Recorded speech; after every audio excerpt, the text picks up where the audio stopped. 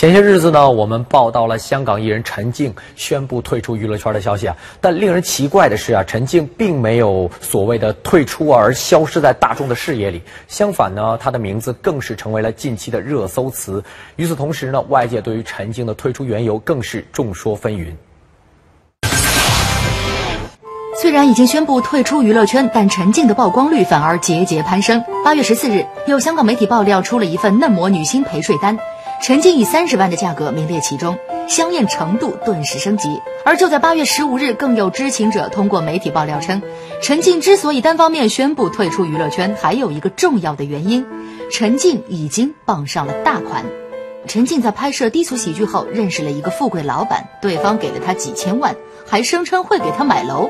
但陈静暂时没有看中的楼盘，所以暂时用三万五千元租住奥海城，迟点儿他还会飞日本度假。他现在有大把钱在手，怎么玩都行了。一时间，关于陈静的花边新闻满天飞。而自从他单方面宣布退出演艺圈以来，蒙受损失最大的莫过于《喜爱夜蒲三》的监制钱国伟。主演陈静的缺席，让剧组承担了约一百六十万人民币的损失。医生叫他不要再开工，呃，因为压力的问题。如果是真的话，那那当然没办法了，希望他幸福。但是如果他选择性的去开。开工开其他的工，我就觉得这个是个人的一个呃呃职职业，我们就说这个抽手的一个问题。钱国伟口中的选择性开工，指的就是陈静于八月十日当天出现在彭浩翔的片场，因此有不少人猜测，陈静的此次退出和彭浩翔有着千丝万缕的联系。更有甚者指出，正是彭浩翔一手策划了这场闹剧，为的是让陈静摆脱性感女星的头衔。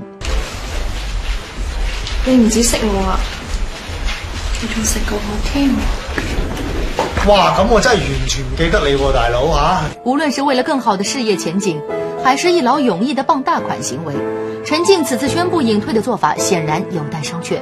钱国伟表示，喜爱夜蒲三投资方已经通过法律途径向陈静提出了约百万的赔偿金，并将删除陈静已经拍摄的戏份，彻底封杀陈静。新闻在线编辑报道。